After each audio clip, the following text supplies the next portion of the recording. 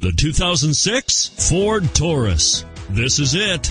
Crafted by an obsessive engineering and design team, the Taurus was created to compete with some of the world's best and is priced below $10,000. This vehicle has less than 100,000 miles. Here are some of this vehicle's great options. Dual airbags, power steering, adjustable headrests, alloy wheels, front air conditioning, cruise control, anti-theft security system, front wheel drive, clock, power door locks.